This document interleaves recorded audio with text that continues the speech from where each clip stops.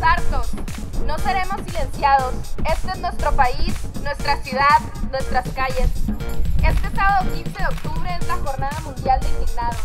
Se pretende que en ciudades de todo el mundo los ciudadanos que se encuentran hartos de la situación imperante en sus países o que quieran solidarizarse con este movimiento salgan a las calles a indignarse, a ocupar los espacios públicos y a emitir un mensaje común.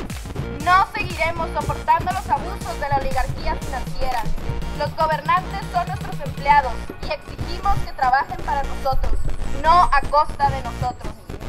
Vivimos en un momento en que las corporaciones que ponen como prioridad el lucro en vez de las personas, sus propios intereses en vez de la justicia y la opresión en vez de la igualdad, es la metodología que manejan nuestros gobiernos. Por ello, es importante reivindicar nuestro libre y protegido derecho a reunirnos pacíficamente para dar a conocer todos estos hechos y enviar un claro mensaje. Somos el 99%, los sin que estamos indignados con este sistema que promueve la explotación, la desigualdad, la discriminación y la violencia de género.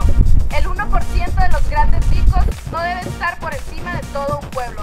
Ocupemos Tijuana, somos el 99%.